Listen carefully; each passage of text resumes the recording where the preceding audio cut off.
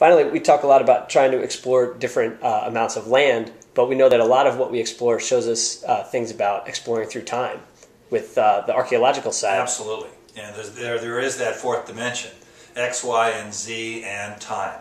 And certainly, uh, we know that there are over a million uh, ancient shipwrecks uh, lost that have yet to be discovered that are really, know, preserved time capsules, particularly in the Black Sea where you get everything perfectly preserved. So there are numerous pages of history yet to be found and read.